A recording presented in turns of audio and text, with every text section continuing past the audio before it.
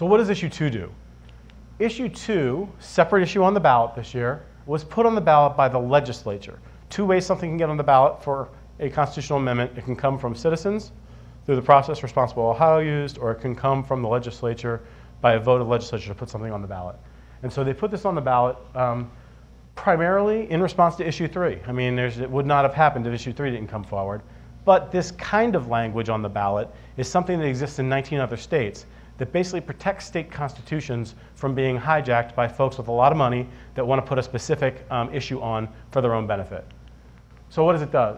What does it do? It prohibits a petitioner, that's the folks who sort of say, I want to put something on the ballot, from doing anything in the Constitution that will grant a monopoly, oligopoly, or cartel um, that creates exclusive financial benefit for them, like 10 farmers out of 70,000 being able to farm marijuana to the exclusion of everybody else prohibits any petitioner from using the Ohio Constitution to grant a commercial interest right that some other similarly situated group can't have.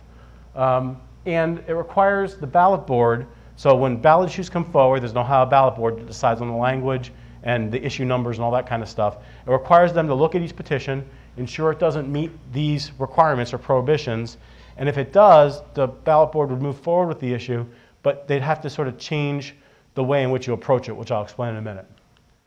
Finally, um, it specifically says that any ballot, um, any constitutional amendment appearing on the November 3rd ballot next Tuesday that um, creates a monopoly, oligopoly, or cartel, 10 farmers, um, for the sale or distribution of any other use of any federal Schedule One controlled substance, marijuana, would not take effect.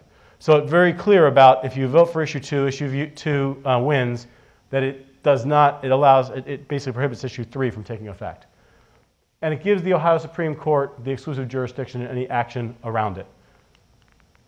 So what would happen is if one of these issues came forward, let's say that um, we decided as a state, or we thought as a state, we wanted to have a water authority in the state. And we wanted to split the state into five regions that was responsible for managing water in the state. And we said that was a good use of public funds because it's in the public interest to manage water effectively in the state of Ohio.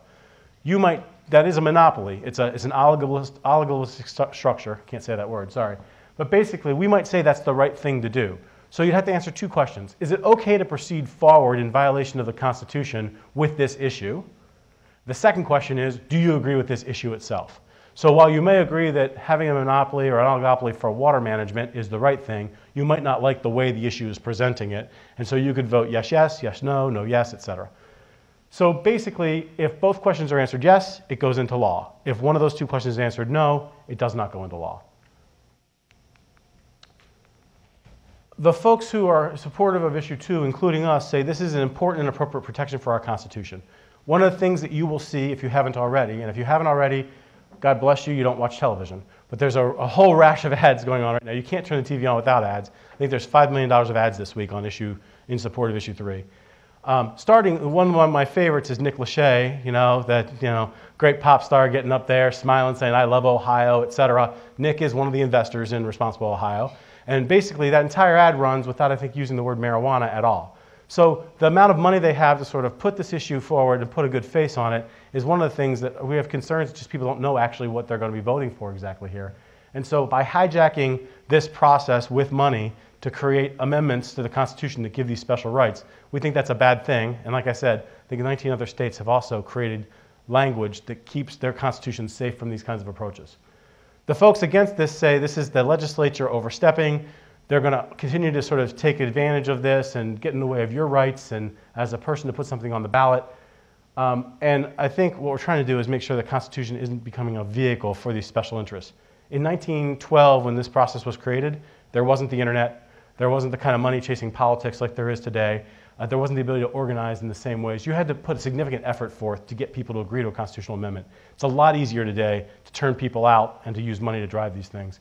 So we think this is an appropriate um, protection, and it's not, it's not uh, you know, it's something that can be managed. The two question process is not an unreasonable process to make things happen going forward.